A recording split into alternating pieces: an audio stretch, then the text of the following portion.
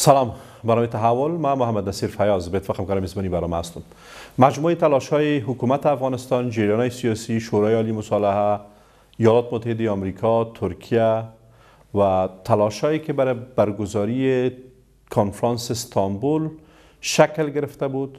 با یک کلپ کوتاه سخنگوی طالبا همه لغ شد منتفی شد و مان به عقب. هنوزم طالبا موقف خود روشن نکرده که آیا به نشست استانبول حضور خواهند یا نه اما بحث غور کردن یا مرور کردن طرح آقای خلیلزاد نقطه که هنوزم مجموعه تلاش ها را در نقطه ابهام مسیر میته چقدر استانبول می‌تونه امیدوار کننده باشه برای پایان ماجرا و تنش های موجود در کابل و تنش های موجود آمریکا طالبا بر سر حضورش؟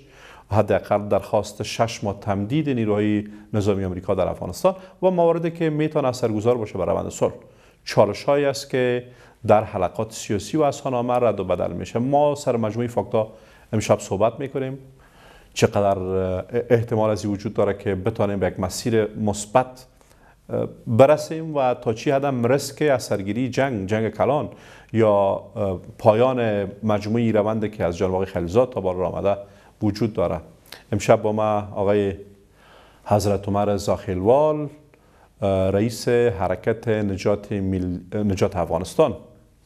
هستن بسیار خوش آمده شما را خیلی خوش باشین. تشکر. پرشنخواسته از جریان شما بخوایم شروع کنیم. ده ها جریان حدودا نزدیک به 100 حزب سیاسی و حرکتی ما داریم. در مجموعی جریان ها شما نیافتین اما ارزش های همسان خود که با یک جای شوین. این حرکت نم چرا؟ بسم الله الرحمن الرحیم نخست از همه سلام به بینندای برنامه تان رمضان به همهشان مبارک باشه دلیل که ما حرکت نجات افغانستان زیر بحث گرفتیم و بالاخره اعلان موجودیت کردیم دقیقا که افغانستان یک جریان سیاسیه که فراگیر ملی باشه و به یک دید دراز مدت بالاتر از امی لغت دیگی نداریم دکانداری سیاسی بگوییم و بالاتر از فرد محوری ها باشه. اگر می بودی امروز ما مشناختیم که کدام هست و تاثیرگذاری هم در قضای کشور می داشت که نبود متاسفانه. در کشور مثل افغانستان که غرق بحران باشه مثال های زیاد خیلی زیادی مشابه در دنیای دیگه می‌بینیم که موفقانه برآمدن. یک فاکتور یک صفی سیاسی ولی ملی ولی فراگیر. این سطح حرکت و جریان فکر می‌کنم همه دکانداری است متاسفانه حد زیادی تا حد زیادی و یا اگر دکانداری هم نباشن به حد محدود هستند چی اگر بدید قومی باشه چی سمتی باشه چی چی چی فکرهای محدودی باشن. اینا اینا تاثیرگذار محدودی دارن. اکثریتش که تاثیرگذاری نداره اونیش هم که دارن در بی‌ثباتی کشور است. در ثباتی کشور نبوده. مثلا. همه اعضا که ببینه از الف تا یا نام نمی‌گیرن. چی نقطه تمایز شما دارین؟ لاقل که اقناع کنین. مردم را که یک حرکت تازه برآمده و فارغ از خط دکانداری می‌تونه کمک اول که اول که ما به هیچ معامله کوتاه مدتی به به خاطر کدام امتیاز شخصی و گروهی و کدام امتیاز و چینا بیرون نمادیم. با یک مدیریت متفاوت تری که از فرد شرف نخوره بالا یک صفی فکری باشه. خوشبختانه امیال فلحال در حقیقت نجات افغانستان از بگراند های مختلف از اقوام همه اقوام افغانستان تقریبا از همه ولایت های افغانستان نخبه کشور جمع کردیم. زیر یک سقف که در قدم اول نماینگر وحدت ملی کشور باشه و در قدم دوم یک صف فکری باشه و فکرش تنها چیزای آنی که فی الحال نیاز است نی که مثلا تنها مسئله صلح هست نی بعد از صلح مسئله ثبات پایداری صلح. به این شکل باشه که از از از زاویه زاویه دیگه برش ببینیم. حال فی الحال اگر بحث صلح هست در سطح زاویه های شکننده زیاد هم در درون شما هست در سطح رهبری. هست هست. چرا نه؟ ولی اضافه باید که کسای خیلی زیادی هستن که در صفای مختلف بودن چی راست و چی چپ چی در متن و چی من حیث شاهد. ولی به این درکی که از او اشتباهات باید که پند برده باشه و او تکرار نشه. یعنی یک تعهد قوی از همه نخبه هایی که اونمو اشتباهات در کنار شما یک کسی به نام فاروق وردک بله. چهره مشهور. وقتی که فشار میاره به خاطر دوسیای فساد وزارت معارف آقای فاروق وردک میاد یک مصاحبه میگه که ما خط دیوران در رئیس جمهور تیمش امضا کرده در دبی پول را که گرفته هم اسناد شما دارم و تمام مواردش هم هست. اگر سر من فشار بیه من افشا می‌کنم. بعد از مدت کوتاهی آقای فاروق وردک میره وارد یک معامله میشه با رئیس جمهور. با مجموعی خیانت هایی که به قبل شده سرش پرده مندازه و دوام میده کاره. حالا اگر قرار باشه رکن حرکت با پایگذاری افراد شکل بگیره چطور می‌تونه بیرون اعتماد کنه اول اول اول از حکومت باید پرسیده شود که که همچی یک فشاری میاره همچی یک یک یک ادعای داره و بعدش هم اونا وزیرش می‌سازه. شما باید در این مورد قضاوت بکنید. حالا اگر اگر وزیر شد مجموعه رازا را پنهان می‌کنه. نه نه نه نه گپ در ایست که در این کشور اتهامات مطلق در هوا هر کس اتهامات گرفته می‌تونن در یک شخص انداخته می‌تونن. ولی این که باز دیده شود که او اتهامات تا کدام حد حقیقت داره تا کدام حد سیاسی بوده تا کدام حد شخصی بوده تا کدام حد مبنی بر حقایق بوده این یک بحث خیلی جداگانه هست. یعنی اتهامات آقای وردک دروغ بوده؟ هوایی بوده؟ اتهامات خیلی زیاد در کشور متاسفانه که که سیاسی شکل سیاسی داره. حالا من نمیگم. شما شما باید که من حیث مطبوعات برین و و این میره تحقیق پرسش خیلی ساده است. همی... پرسش خیلی ساده است. بازوی راست شما آقای وردک. اتهام میبنده با حکومت که فساد کرده پول گرفته خط دیورند امضا کرده خیانت کرده. و بازوی راست شما آقای وردک بعد از مدت کوتاه وزیر میشه و سر تمام چیزها پرده مندازه. حالا تفسیر شما چی است؟ فکر کنم شما بیرون هستین. اول اول خب اول که ما یک بازو دو بازو نداریم. ما به صدها بازو داریم. حرکت نجات افغانستان آقای وردک با اونم اهمیت در این حرکت است که صد دو صد نخبه دیگی کشور در این حرکت وجود دارد. ما تا به حال غیر از ای که اتهام بسته شده و اتهام علیه خیلی مردم بسته شده. بالاتر از او چیزی ندیدیم. ما در کشور به اتهام ارزش زیاد نمیدم. به خاطر که اتهامات اکثریتش متاسفانه چی انگیزه سیاسی می داشته باشه در اینجا. از این خاطر باید ما خیلی محتاط باشیم. ما خیلی محتاط باشیم. سوال زیاد به ما بر نمیگرده. به آقای وردک پس زیاد نمیگرده که به حکومت بر میگرده مسئولیت حکومت که اونا اتهام بستن باز بعد از اتهام اونا چرا وزیر شدن؟ خب حتما دیگه چیزی نبوده که وزیر شده حتما که احتمالی که یک فشار سیاسی بوده بالاتر از اون احتمالات دیگه بوده. آقای زاهیوال پرسش و پاسخ ما رو بیننده قضاوت می‌کنن. ما چی می‌خوایم بپرسیم شما چی بله. می‌خواین جواب بدین؟ و بحثم در آقای مورد آقای وردک خیلی واضح و روشن است. حالا از او نقطه شما از ثبات دامدار گفتین در افغانستان از حرکت که از خط دکانداری جیران سیاسی دیگه متفاوتتر است و رای دراز را که خب با حرف میشه. اما در عمل همین قدرت انسجام منابع یک خانه خیلی مقبول اینجا ممکن دفاتر مجموعه مصارف یا از کجا میشه؟ اول حرکت نجات افغانستان متکی به مصارف نیست. شما ببینن ما همایش بزرگی در, در, در کابل داشتیم همایش بزرگی در ننگرهار داشتیم همایش بزرگی در هرات داشتیم. مطبوعات می‌تونست بپرسد طوری که دیروز یک همایش یا پریروز هم بود و, و بحث کسایی که اشتراک کرده بودن در آخر که نان کجا شد و کرایه را در کجا شد.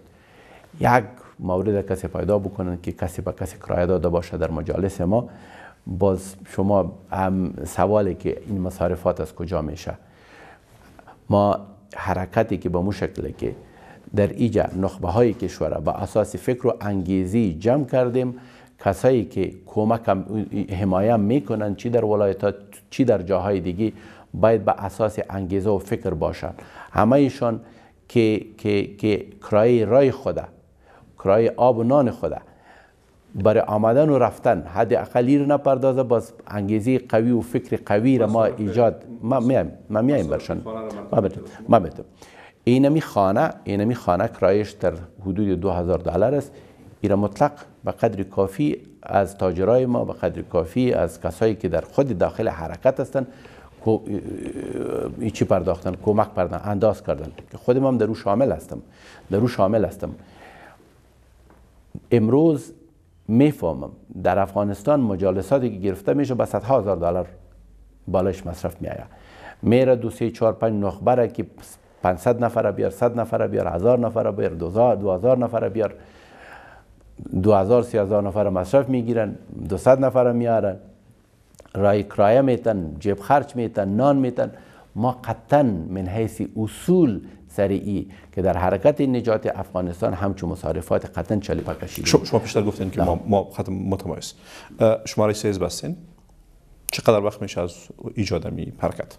حرکت نجات افغانستان خب ما اعلان موجودیت فقط دو نیم هفته قبل یا کمتر از دو نیم هفته قبل کردیم. ولی بالایی در تعدابش ما تقریبا در نو ماه ده ماه کار کردیم. خیلی شوری کار کردیم. رفتیم در قاط مردم داخل شدیم به ولایت ها رفتیم به ولسوالی ها رفتیم به نخبه های کشور رفتیم. ما تازه از هرات برگشتیم.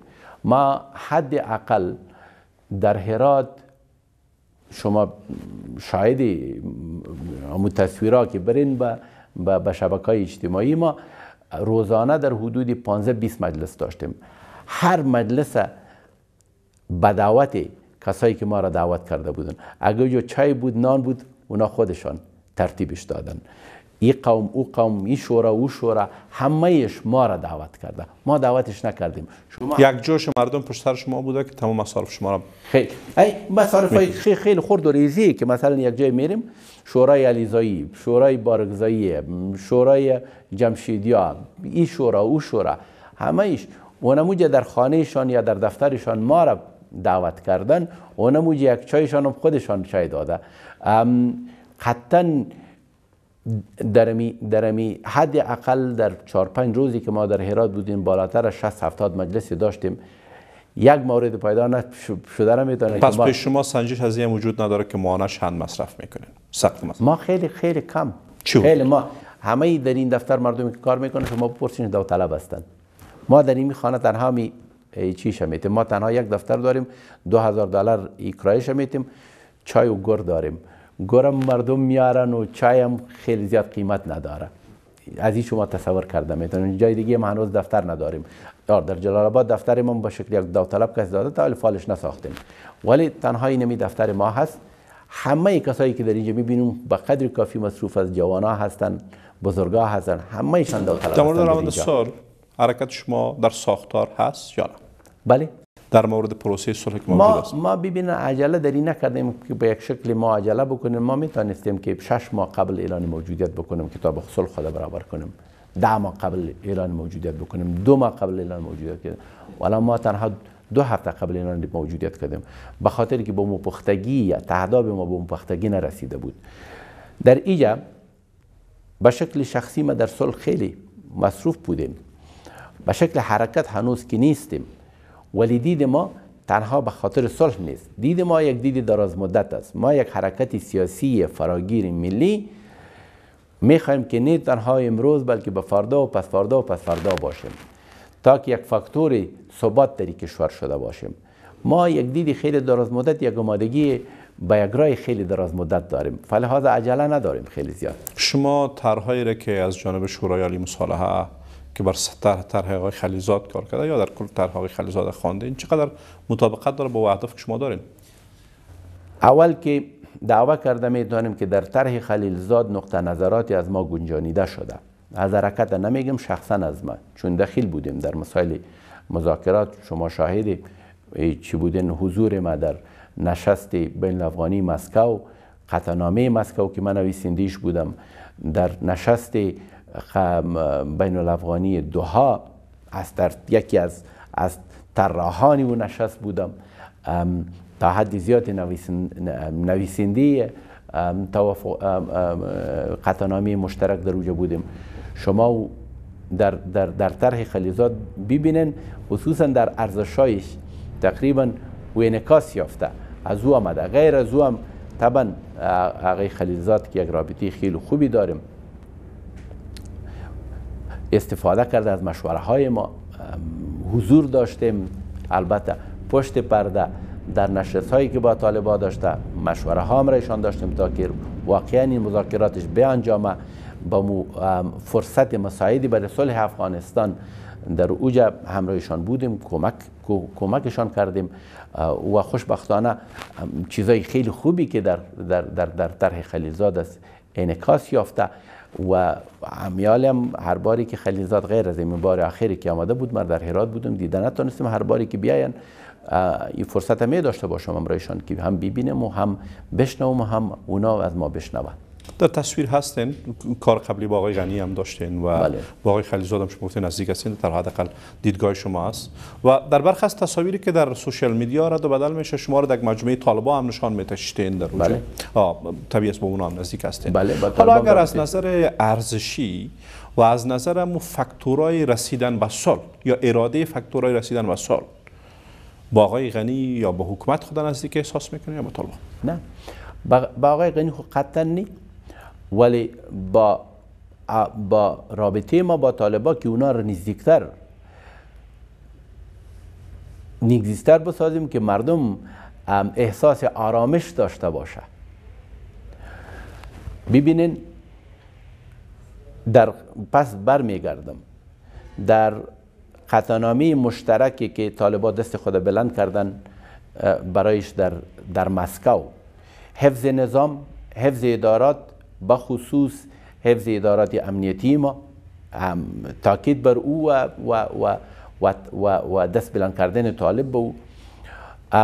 به ای که در افغانستان اینا حمایه از انحصار قدرت نمی‌کنه افغانستان یک کشوری کثیر الملیتی است و او باید در حکومت انعکاس پیدا کنند تاکید بر بر حقوق اساسی شهروندان تاکید به آزادی بیان خصوصا خانما حقوق تعلیمی و کار و سیاسی و کاروبارشان. اینی چیزایی بوده که که کسایی که اشتراک کردن در مسکو اگر من نمی بودم ممکن نبود که با تشویق کنه طالبان با همچو یک توافقنامه یا یک همچو یک قطعنامه که اونا دست خود بلند کنن و امروز از او استفاده شده می‌تونن و او احساس راحتی به مردم رول ما در اینمی است که چطور می‌تونیم که رابطه ما با طالبا و, و فضای اعتمادی که ایجاد کردیم واقعا اونا را تشویق کنیم به یک صلحی که یک صلح پایدار در کشور باشد یک صلحی که در او خبر خوش به همه مردم افغانستان ما باشه نه خبر ترس. پس از شما آشتی پذیری با طالبان آسان تر است تا غیره ببینین ما طرف جنگ در اینجا طالب است. طرف جنگ طرف جنگی که بالای نظام داره غنی نیست. فلحاظ ما اینجا با غنی یک, یک, یک, پرس یک پرسش هست در این بله که کی مانع صلح هست کی مانع روند است. اونمو را گفتم براتان که موقفایی که آقای جمهور غنی گرفته مامد صلح نبوده. متاسفانه تا به امروز تا به طرح آخرش که است تا به طرح آخرش یک سنگاندازی در پیش روی فرصت های صلح هست نه به طرف صلح. حرف آخر از کابل کی می‌زنم از دید شما حرف آخر متاسفانه که کابل خود به حد منزوی ساخته در کل. در مسائل صلح افغانستان همه بیرونی ها یک چیزی کاره هستند تا نه هیچ کاری که شده کابل است متاسفانه. و این به خاطر شیوی مدیریتش که داشته. انحصار مدیریتش که داشته و نمونیت حذفی که در اوجا داشته یک دیدی خیلی خیلی کوچکتری که متاسفانه داشته. خیلی که دیدی که فرد محور بوده به حد زیاد و اضافه تر بالای مسئله قدرت زیاد میچرخه نسبت به که به سر نظام و مسائل دیگه که در صلح مهم سری او بچرخه. کابل متاسفانه خیلی خود منزوی ساخته. یک دید توتالیتاریزم یا انحصارگرایی در قدرت با ستابش یک مقدار منفی بوده در کابل شما رو روی پرداختین. اما نقطه را که بیشتر نگرانزاست برای مردم مقاومت آقای غنی و احتمال شروع جنگ هایی که ممکن است خارجی ها هم پشتر از استاد شوند. فکر می‌کنین که این رسکایی فاکتورها وجود داره؟ به حد زیاد. ببینین این فرصت را اگر ما از دست بدیم نه تنها که جنگی که فلحال ما شاهد هستیم این دوام پیدا می‌کنه بلکه شاید که مغلقتر شود. شاید آغاز یک بحرانی باشه که ابعادش مغلقتر از ابعادی که فلحال داره باشه. ما شما روزای خیلی بدی را دیدیم در افغانستان. ولی گفته نمی‌تونیم که از این بدتر شده نمی‌تونه. خداوند افغانستان از حالت سوریه چی چی ها هست؟ این نقطه نگرانی. ببینید اون مثالش در دنیا. خداوند افغانستان از حالت سوریه نگاهش کنه از حالت لیبیا نگاهش کنه از حالت یمن نگاهش کنه. ام آیا ناممکن است در افغانستان؟ قطعا ناممکن نیست. خیلی چیزا بود که ما تصورش نداشتیم ولی در افغانستان مثلا قرینه هایی که می‌تونه ما رو نزدیک کنه چی ها هستن؟ چیزایی که با چی ما رو نزدیک کنه؟ با, با او طرف؟ چیزایی که ما رو به طرف جنگ ببره فاکتورایی که ممکن است از بیرون باشه ببینن بحث قومی یا یا قومی قومی خواندن جنگ خودش خیلی خطرناک است. دخالتی کشورهای منطقه در در جنگ که بودن و به یک شکل دیگهش که اینا دخیل شون خطرناک مثلا مثلا. مثلا اگر فاطمین راستی در افغانستان جگه پیدا کنه خطرناک است. مثلا ای اگر چقدر خیالی است تا واقعی. خب یعنی احتمالش هست مثلا اگر کشورها فلحال اگری شک درست باشه که بعضی کشورها در در تسلیح ساختن ملیشه اینا دست دارن و تمویلش می‌کنن این خطرناک است. یعنی بیرونتر از نظام بیرونتر از ساختارهای امنیتی ما ملیشه سازی ما یک بار دیدیم نتیجهش که چی بوده. ایره ساختن و خصوصا قومی ساختن ایره به حد خطرناک است. اینی چیزا است که ما نزدیک می‌بره فکر می‌کنین که موضوعگیری حکومت یک مقدار آگاهانه و سازمان داده شده با توجه فاکتور هم باشه. متاسفانه در بعضی این مسائل یا حکومت در کل بگوییم در کل شاید نه ولی اشخاصی در حکومت شاملی این چیز هاست به نام این که آمادگی جنگ با طالبا بگیرن و خصوصا هناینی که سنگ اندازی می‌کنن در روی فرصت های صلح اضافه تر تاکید برای جنگ دارن. الفاظ استفاده می‌کنن که الفاظ جنگ است خشونت است. زیاد است در داخل حکومت. مثلا یکی دو. ضرور نیست که ببریم نامش ولی می‌دانیم که بحث گنگ فکر می‌کنم ما رو به جای نمیرسانه. ما می‌فهمیم. از این ارگ شروع تا با پایین حلقی کوچکی که در ارگ است بحثشان اضافه تر که شما بشنوین. بحث جنگ است نسبت به بگوییم که تبصره هایی که در بیرون میشه نسبت به دخالت برخی از کشورها در حمایت حکومت در برابر روند و در برابر پاکستان و حکومت هم در تلاش یک ساختار جنگیدگی است. برخی از قماندان های ملیشه را با خود با امتیازات یک جای ساخته و می‌خواهد که بره به طرف جنگ یک جنگ که بیشتر ریش های ملیشه و بله. ارزان داشته باشه. فکر می‌کنید که تبصره ها صدق می‌کنه با تصویرهایی که هست خب تا که نباشه چیزا که مردم نگوده چیزا. تا حدی خوب ممکن است. این مالیش سازی رو خب ما می‌بینیم که پروسیش آغاز شده. کجا؟ در ولایت مختلف افغانستان مثلا؟ در شمال افغانستان. اضافه تر از جاهای دیگه هست. کی ها ساختنی برشن قبلا ما پرداختم به تکرار که از منابع بیرونی آب می‌خوره خب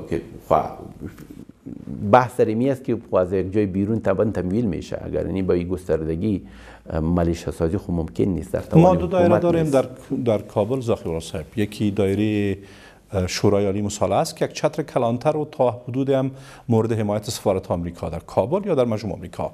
و یکی هم خط ارگ است که خیلی واضح است و آنچه که ارگ میگه با شورای مصالحه خیلی هم در تناقض. کدام یکی می‌تونه اثرگذار باشه بر دیگره و سازمان بتا سامان بتا روی کردها را به طرف صلح یا به طرف جنگ؟ تا به حالش یکیش هم نبوده. نه ارگ بوده و نه شورای علی مصالحه بوده. شورای علی مصالحه را مگه شما ببینین خیلی نمایندگی گسترده از مردم کرده نمی‌تونن؟ مربوط به یک تیم انتخاباتی تقریبا هست.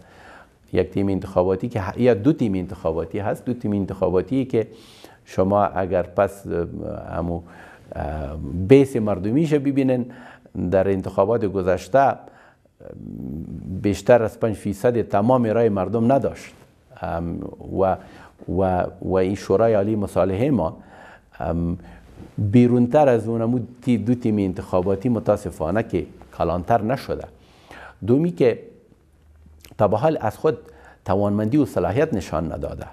تا به حالی که شورای علی مصالحه که همو حرف آخرش در مورد صلح باشه کدام تصمیمی گرفته که بر جای شانده؟ هر چلنجش کرده و, و شورای علی مصالحه نتانسته که چلنج ارگ را اینا دفع کرده بتانه. تا به تا امروز هم که شورای علی مصالحه که یک, یک تصمیم مستقل گرفته باشه و از صلاحیت خود استفاده کرده باشه ما مثالش نداریم تعریف شما از آقای عبدالله با اون رئیس چی است؟ یک شخصی نهایت طبعا خوشخلق یک شخصی رفیق اندیوال ولی یک شخصی که موثریتی تا به حال موثریت چندان در در پروسه صلح نداشته عدم قابلیت آقای عبدالله می‌تونه چالش باشه بر موضوع کابل در استانبول یا نه؟ خب در کل در کل امی که ما روزانه ببینن فرصتی که ما دو سال قبل برای صلح داشتیم. دو سه برابر فرصت امروز است. فرصتی که سال گذشته داشتیم دو برابر امروز است. حال در حضور اینا که فرصت کمتر شده میره و و امیال فلحال ترسی که مردم از آینده داره بیشتر شده. فضای اعتماد بین طالب و, و حکومت نه تنها که کمتر نشده فضای بیاعتمادی بیشتر شده. ام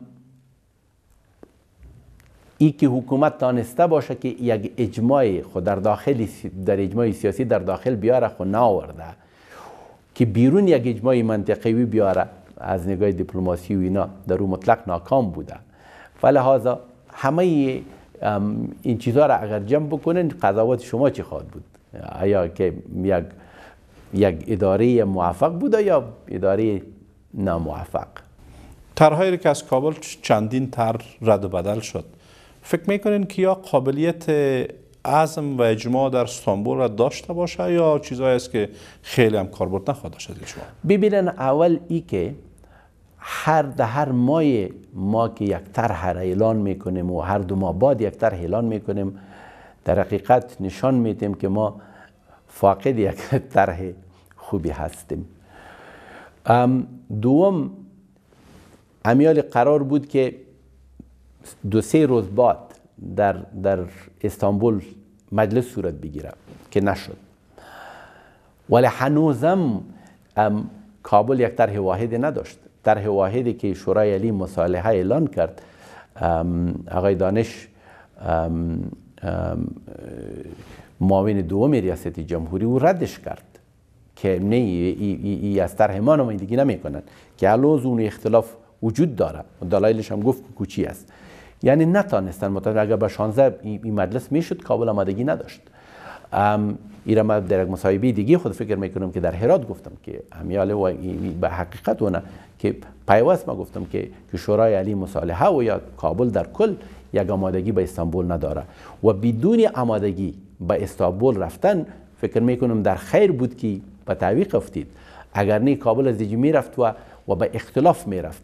فلحاظ چی دستاورد در صلح می‌تونست که به دست بیاره با که کابل یک حکومت داره و نمایندگی می‌کنه ساختارهای سیاسی دیگه در حوزه صلح جزیره های متعدد قدرت را شکل دادن که یک بخشش کابل است و دیگر همده حضور دارند حالا بحث مانور آقای غنی یک مقدار نگران کننده اصلا به طالبان با مجموعی روند که گفته انتخابات قبل انگام و صحبت های بیساتشین آقای صالح مبنی بر کودتا و یا موارد مثل ازی چقدر قدرت سیاسی کابل یا ارگ ریاست جمهوری مشخصتر می‌تونه مجموعه فاکتورهای دیگه را دور بزنه و مسیر به نفع خود تفسیر کنه تا دیگران. ببینن گپ در است که اگری وضعیت به با, با فضای کشور فضای سیاسی کشور مفید نباشه به اینا مفید نخواهد بود. امیال تناقضات خیلی زیاده موجود است در حرفشان. از یک طرف میگن که خب قانون اساسی اجازه نمیده که انتقال که قدرت را در نتیجه توافقنامه صلح قدرت را به یک حکومت انتقالی انتقال بده. از دیگر طرف میگن که با خاطری که قانون اساسی را اینا تطبیق کرده باشه باید که از طریق انتخابات زودنگامی کار شود. با مو اندازه که قانون در قانون اساسی ما حکومت انتقالی نیست با مو اندازه باز انتخابات زودنگام خلاف قانون اساسی است. در نادر صورتی شده می‌تونن که رئیس جمهور استعفا بده. اگر رئیس جمهور صادق باشه در انتخابات زودنگام که ما می‌خوایم که مطابق قانون و شش ماه بعد دیگه امروز باید استعفا بده که شش ماه می‌گیره که آمادگی به اینده اومد در از او باز ما استقبال می‌کنیم. اینا استعفا بده باز اون ایرا به اثبات میرسانه. که که مانع صلح و مانع فرصت های صلح نیست. واقعا صلح می‌خوای ولی به وصولش می‌خواه به خاطر که مطابق قانون اساسی شوه خلاص. باز به صورت باز استعفاش آیا نت استعفا را آقای رئیس جمهور داره نداره. از همین خاطر که این اضافه تر بهانه هاست. از او پیش چی بهانه بود؟ از او چی پیش جان حالا یک بهانه دیگه که شاید خب که نمیشه. تحت حضور آقای رئیس جمهور غنی لوی جرگه دایر شواده لوی جرگه. همیاله در مدیریت آقای غنی مردمی که در دید کابل هستن او باور نداره. و این دو انتخاباتی که ای دایر کرد انتخابات پارلمانی و انتخابات ریاست جمهوری ام ایا کسی می‌تونه بالایش اعتماد کنن که در در حضور آقای رئیس جمهور غنی یک انتخاباتی که او قابل باور باشه صورت گرفته می‌تونن. و خصوصا در این وضعیت فعلی که هست خوب هنوز بدتر است. ولی توانمندی که اگر میشه توانمندیش نداره. مردم اعتبار و اعتبار نداره ما که نداریم. طالب خوب جای بگذارین. اصلا این موقف ها قطعا ما می‌فهمیم که نه تنها که به صلح ذره کمک نمی‌کنن وقت کشی می‌کنن در با به شکلی که تا به حال وقت کشی متاسفانه شده وقت کشی میشه فرصت های ما از بین میره و متاسفانه خدا نکنه به وقتی برسیم که باز ما باز ما هیچ چیزی فرصتی نداشته باشیم. برای استانبول قبل از وقفه بریم کوتاه ارگ قدرتمندتر است موضعش یا شورای علی مسلح امیال فی الحال اینا یکیش هم از خود چیزی ندارن. طرح قلیزاد آورده تنها چیزی که دارن بالای بالای طرح قلیزاد باید اینا طرح بتن. از خود طرح نیست. طرح از خلیلزاد است سر طرح اونا طرح بتن. ولی یک طرفش هم نیست. ام ام تا که نتانن که اول ارگو سپیدار یک جا شود و واقعا اونمو اهداف بزرگ صلح که است و, و نظام که است او را اولویت بده. مسائل شخصی را پایین تر بیاره و باز در قدم دوم اونا می‌تونن که اجماع سیاسی را در افغانستان به وجود بیاره. یک صف کی از نظر زمان یک مقدار نامید کننده هم که نامید کنم. چیزی که ما میال فی الحال پیش بینی می‌کنم کنفرانس استانبول حتمی شده نیست. اگر آل نشد یک ماه بعد است. اگر کابل آماده نبود یک چیزی تحمیلی در اونجا می بسیار تشکر.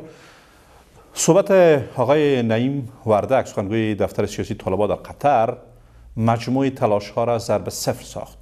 آیا طالبان آماده هستند که با آمریکایی ها بر سر جدول زمانبندی نیروهای خارجی یک توافق تمدید شش ماهه کنن یا نه؟ و بعد از او که ماجرای طالبان و آمریکا و پایان پیدا می‌کنه چقدر ممکن است جریان کابل در این خلال زمان بتانن یک مسیر بده که حداقل یک صلح نسبی از جنای جمهوریت با طالبان نمایندگی کرده بتانه. یک وقت فکر زود برگردیم.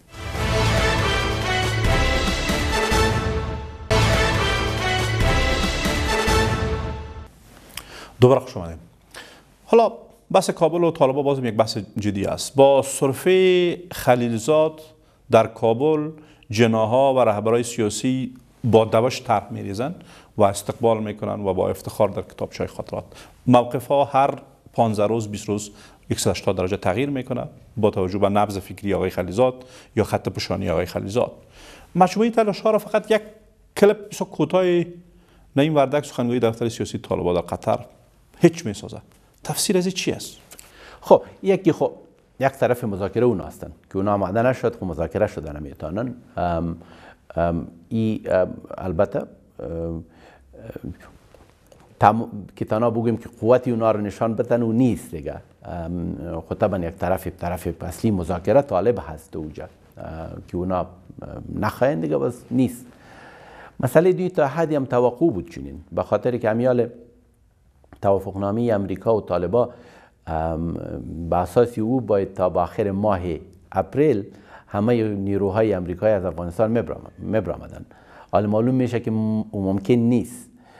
فلحاظ ایجاب می‌کنه که تمدید او تمدید شوه. حال بر طالب مذاکره بین الافغانی اولویت نیست. با اونا مذاکره با امریکایی اونا اولویت پیدا می‌کنن. توقع که حال فلحال داریم اونمو که مذاکره امریکا شاید هم که آغاز شده باشه در نهایتش ما فکر نکنم که نی امریکا آماده است که توافقنامه را لغو کنه و نی هم طالب آماده است. ولی یک سلسله خواسته ها از دو طرف شاید باشه. ما امیدواری ما است که که طالبا خواهد پذیرفتن که یک تمدید شش ماهه و توافقنامه به وجود بیاین وقتی که او به وجود آمد مذاکرات بین الافغانی طبعا جدی تر میشه. باز من توقع دارم که کنفرانس استانبول میشه و کنفرانس تعیین کننده خواد بود. با اونمو که یا کابل آماده میره یک فاکتوری واقعا می باشه در مذاکرات و یا هم یک چیزی تحمیل میشه. یک کمپلکس از تناقضات هم هست. کابل یا ارگ مدعی است که هیچ زندانی را دیگه رها نمی‌کنه و زندانیایی که رها شدن یک اشتباه خیلی بزرگ بود. طالبا هم اولویتشان شرطشان رهایی زندانا و بیرون شدنشان از لست سیاه است. بحث آتش بس هم یک بحث خیلی جدی به طرف کابل است. فکر می‌کنید مجموعی تناقضات یک رای حل پیدا کنه و اگر پیدا می‌کنه چی گونه؟ خب بندی های پنج هم که رها شدن در هم که کابل مخالفت خود نشان داده بود ولی تحمیلی شد بالایشان. اول خو ابو توافق همراه کابل نبوده با امریکا بوده و امریکا در نهایت روزش هر, هر قدر که کابل طبعا منطق هم داشته که ما مذاکرات نکردیم فلحاظ پابند به این توافق نامه نیستم باز خب در آخر نشان داده شد که امریکا چیزی که گفت شد. هم. اگر امریکا توافق بکنن با تعداد دیگی از زندانی های طالب با طالبا ما خیلی مشکل می‌بینم با کابل که چطور اینا نگفته بتانن. با دیدی که تابال مثلا در مورد رهایی انس حقانی و و تعداد دیگهشان امریکا توافق کرد. هرچند کابل بود که خط سرخ است. باز دیدیم که خط سرخ نبوده. پنج هزار خط سرخ بود باز دیدیم که نبود اما حالا اصلا باز... ندامت است. با خاموشی مانادار خب. آقای غنی آقای سالی آقای آقای آقای سالی دو وقت مخالفت خود مخالفت خود شدید خود نشان داد. رئیس جمهور هم داد. آخر بالاخره گپ برای 3 400 بندی آمد. در هم نتانستند برای شش بندی آمد. دوم نتانستند حتی یک تعداد کشورهای مثل فرانسه و استرالیا هم یک جا شدن. در امو شش بندی. ولی, ولی ما دیدیم که تا به مؤخر بندی رها شد. حتی تعداد بیشتری از 5000 رها شدن. به خاطر که حکومت یک تعداد دیگه رها کرده بودن. در عوض او 400 که گفتن که رها کرده نمی‌تونیم او 400 هم رها کرد و اضافه هم رها شد. 5000 و چند صد رها شد در نتیجه. پس فقط یک تپ تپ پای بیش نیست. خب اضافه تر موقف گیری هست موقف گیری که باز ما می‌بینیم که در مقابل امریکا باز عقب نشینی ها صورت گرفته. حالا بس آتش بس هم یک بحث جدی است. فکر می‌کنید که طالبا با این اگر قرار باشه با فشار آمریکایی ها شکل بگیره اونا تن به آتش بس بدن؟ من توقعش دارم توقعش دارم یک آتش بس سه ماهه ولی اگر ما شاهد آغاز آتش بس بودیم باز توقعی را داشته باشیم که در این سه ماه گپ افغانستان گپ بحث صلح جمع میشه. یعنی به یک نتیجه می‌رسه فکر می‌کنید که نشست چی وقت شکل خواهد گرفت؟ درست ما ما شاید شاید غلط ثابت شود. حدس ما خواهد بود که که بعد از بعد از ماه مبارک رمضان خواهد بود.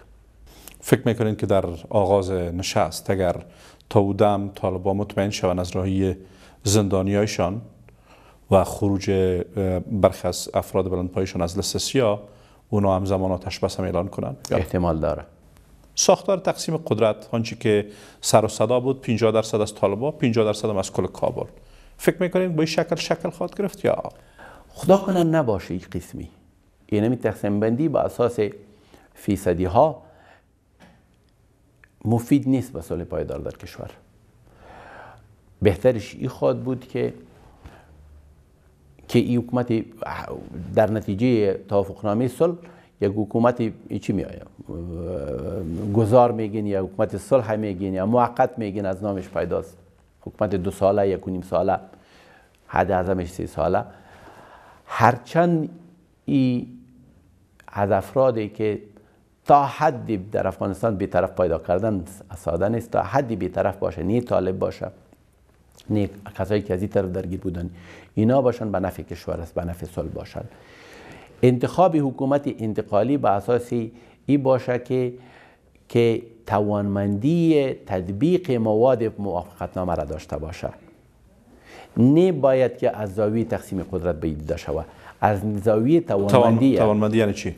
یعنی یک توافقنامه مثلا. در توافقنامه بعضی مسائل است که شاید احتمال زیاد است. مرور به قانون اساسی و یا تعدیلات در قانون اساسی. بله. این توانمندی رو داشته باشه. خلاص کردن افراد مسلح تحت کنترل آوردن کنترل حکومت زمینایی که یا یا جغرافیایی که زیر کنترل طالبا و اشخاص دیگه هست. عودت مهاجرین است. و یا هم داخل شدن بعضی از طالبا در در در در صفات اردوی ملی ما در در در در در, در رو ساختارهای ما. ای اینی چیزا بود.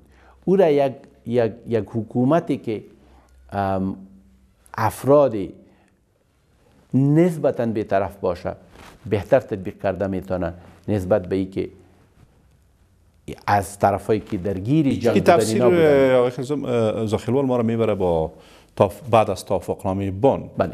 هرچند اونجا حکومت بیطرف نبود و تمام جناهای دخیل بود در حکومت. اما وقتی حکومت بیطرف میگیم قدرت اجرایی حکومت شاید کمتر از او افرادی که دخیل بودن باشه.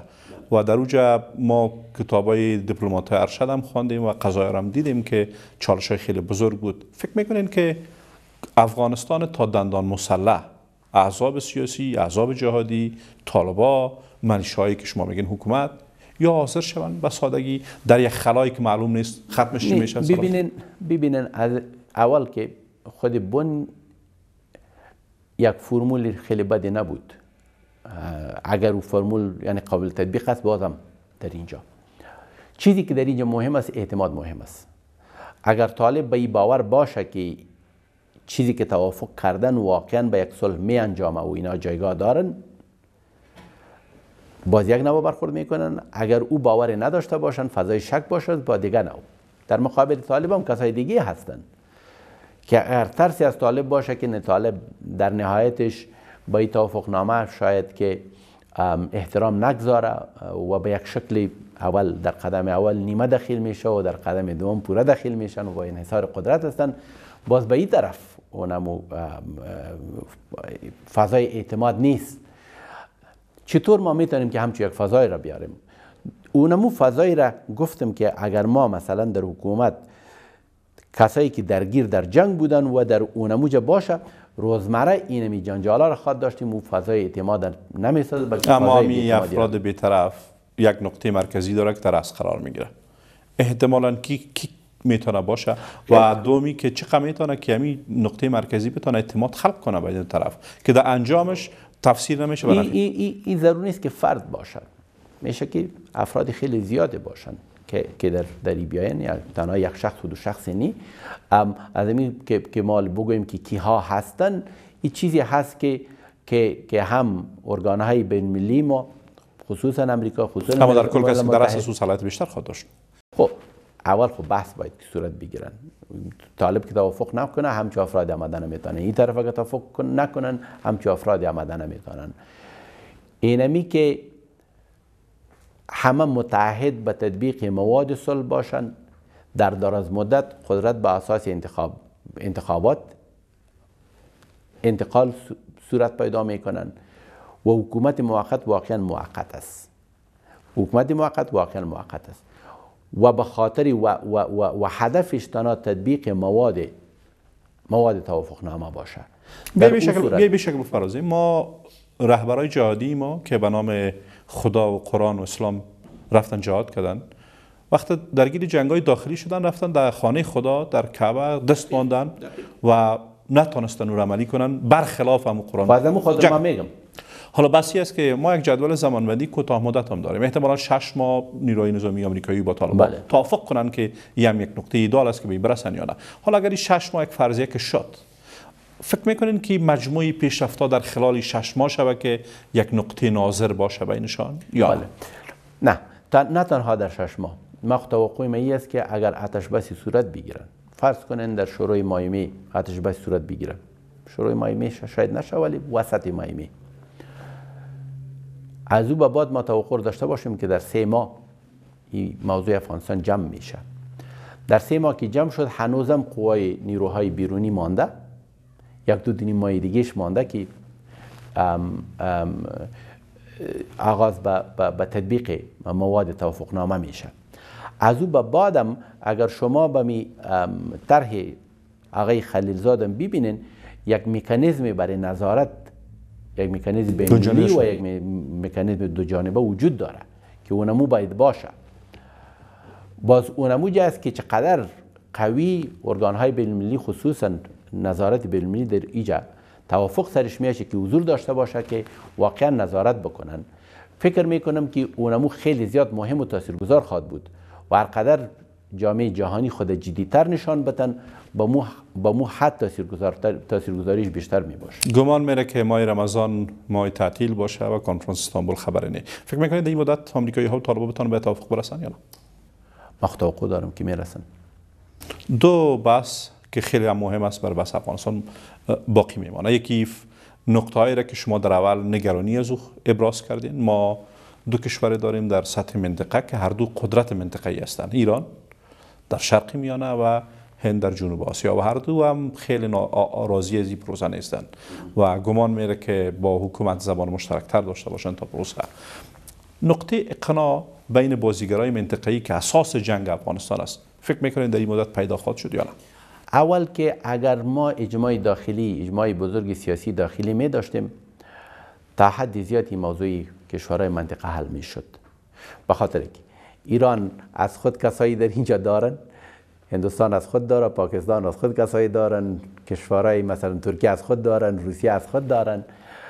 در اینجا اگر سیاسی ما نشان می‌دادن که واقعا بالاتر از اون منفیت های کوچک خود اینا می اندیشن به صدی ملی می اندیشن اینی بحث از به می کشورهایی که کسی که حمایگرش هندوستان بود برش می‌گفت که ما جور آمدیم اینجا گپ جور است شما. این گپ حل می‌شد متاسفانه کی نشده. و این توقعش هم نمیره به شکلی که پیش میره کی باشه. مکانیزم دیگهش در اوست که در طبعا وقتی که در, در استانبول مذاکرات بین الافغانی نهایی شد سر یک توافقنامه توافقنامه صلح نهایی شد و, و توافق صورت گرفت.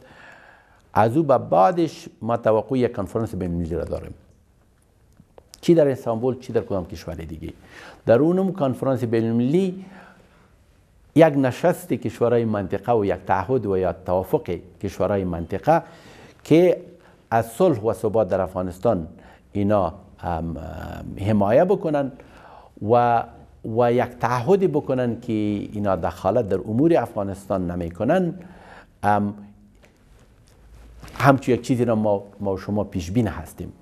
ولی ای که باز چقدر این کشورها به اون متعهدی که کردن پابند میمانند بازم تعلق می‌گیرن تا یک حدی پس با نظارتی که از بیرون میشه خصوصا نظارت بین‌المللی خصوصا نظارت کشورهای بزرگ بزرگ دنیا. امیدواری ما است که نظارت همچون نظارتی که در داخل افغانستان می باشه نه تنها از طرفای درگیر در جنگ صورت بگیره بلکه از کشورهای منطقه که درگیر جنگ هستن از اونا هم صورت بگیره تا رسیدن به کنفرانس بعد از استانبول توافقاتی که در استانبول برمیگرده خیلی با منافع کشورهایی که دخیل هستند در جنگ افغانستان شما نقطه خیلی خوب اشاره کردین ایران نماینده خود داره و این نماینده خیلی شناخته شده است بله. پاکستان هند و ترکیه بله. کشورهای دیگه بله. و سطح درون یا اجماعی درون یک مقدار مستقل نیست. برمیگرده به منافع کشورها. دقیق. حالا فکر می‌کنین که اگر این کشورها نتانن یک زبان آشتی پذیر بین خود خلق کنن ما مو قصه مرغ و تخم مرغ ادامه بدیم؟ خب ببینین اگر شما در در بن 2001 آخر 2001 آغاز 2002 فضای اعتماد بین امریکا و ایران که اصلا وجود نداشت. بین پاکستان و هندوستان وجود نداشت. بین ایران و کشورهای عربی وجود نداشت. بین امریکا و روسیه که وضعیت خیلی خوب نبود در اونجا. ولی ولی در اونجا تانستن حداقل یک سال دو ساله نشان بدن که ام با وجود اختلافای کشور که در مسائل دیگه دارن و, و, و روابط خیلی دو جانبی خو خیلی خوبی نداردن در افغانستان همکار ماندن. از امو بود که بن از نگاه حمایه منطقوی در افغانستان خیلی خوب آغاز شد. خب چند سال بعد باز نتانست نت یا ما نتانستیم یا دنیا نتانست که که که که اما وقتی کتاب خلیزاد و دابنز مطالعه کنیم قبل از اینکه اون جلسه شوه آقای خلیزاد دابنز خیلی نشستایی داشتن با جوادزری سفیر افغانستان و تو هم که است حال فعل هم است. شما نزدیکت روسیه و امریکا رو ببینید خیلی اختلافات داره. برخلاف ایران هنوز در هنوز ولی باز روسیه تاثیرگذاری بالا ایران داره. و یا ایران مثلا تنها امروی مخالفت نشان داده که اگر یک کشوری خصوصا امریکا گرداننده مجالس در مورد افغانستان باشه اشتراک نمی‌کنه. اگر ملل متحد باشه می‌کنن. امریکا به خاطر ایران توافق کرد که گردانندگی را ملل متحد بگیرد. این نقاط مثبتی است که از پس وجود نه صلح بین الافغانی است و نه نشست. بله. ام متاسفانه که که که stage stage کسای دیگه ساخته پیش بینی چی میشه آقای زاخیل در کل ما تصویر کردیم همه را با خوشبینی ها و با نگرانی ها اما چی که فکر می‌کنین برای ثبات میلیون ها شهروند سرگردانی سرزمین می‌تونه رقم بخوره در کوتاه مدت که دو ماه چی خواهد بود؟ خب اول که ما باید خوشبینی خود از دست ندیم به خاطر که خوشبینی خوشبینی امی خود فضای خوشبینی که از تاثیرگذاری داره بالای سال. ما شخصا با وجود همه نقطه نظراتی که من داشتم و انتقاداتی که داشتم باید که خوشبین باشم. این فرصت که از دست دادیم یک فرصت خیلی بزرگی برای صلح و ثبات کشور است که شاید به یک مدت زیادی از دست داده باشیم اما حد اعظمی مسئولیت هر یکی ما هست. که ممد هر قدمی که از فرصت استفاده اعظمی برای صلح میشه ممدش باشیم ما من حیث فرد من حیث حرکت نجات افغانستان ممد اون قدم ها میشیم که که او کمک میرسانه به صلح. ما بازم تکرارش می‌کنم که در دو ماه آینده ما شاهد مجلس استانبول خواهد بودیم. در مجلس استانبول امیدواری ما است که خدا کنه که او آمادگی از کابل او اجماع و یا, یا توافقی که در کابل باید که من حیث یک سفینه اشتراک بکنن او به وجود آمده باشن. اگر نی بازم گفتم که یک چیزی تحمیلی میشه یک چیز تحمیلی به یک احتمال شاید چیزی خوبی باشه. چیزی که ما نتانستیم و مجبورن که تحمیل شود سر ما. و, و یا امکان داره که یک چیز خوبی نباشه. ولی فلحال هر توافقی که جنگ پایان میده ما برش به خوش آمدید بگویم از امو زاویه خوشبینی برش ببینیم. باز پس مفت بالای ما که چطور ما می‌تونیم او را پایدار بسازیم. ولو که اساساتش از آغاز پایدار نباشه ما افغان ها می‌تونیم که چطور او را پایدار بسازیم. این درکی در مردم ما هست. امیال فلحال حرکت نجات افغانستان که ما تعداد از ما هر به اساس اون درک مردم و به اساس اون آمادگی ذهنی مردم که, که, که از یک صف قوی مردمی و فکری از صلح حمایه خواد کردن این همی حرکات ها انشاءالله تعالی که تاثیر گذار دیگه خواد بودن که چطور؟ ولو که یک صلح به اساس اساس پایدار به وجود نبیایه ناپایدارتر باشه او را پایدار بسازه. بسیار تشکر آقای زاخیروال با امید صلح پایدار در افغانستان با امید که تلاش ها بتونه نتیجه بده برای افغانستان. تشکر خیلی زیاد شما. بسیار تشکر از شما بین عزیز دیدم بس دنبال کردیم. تا وقت خدا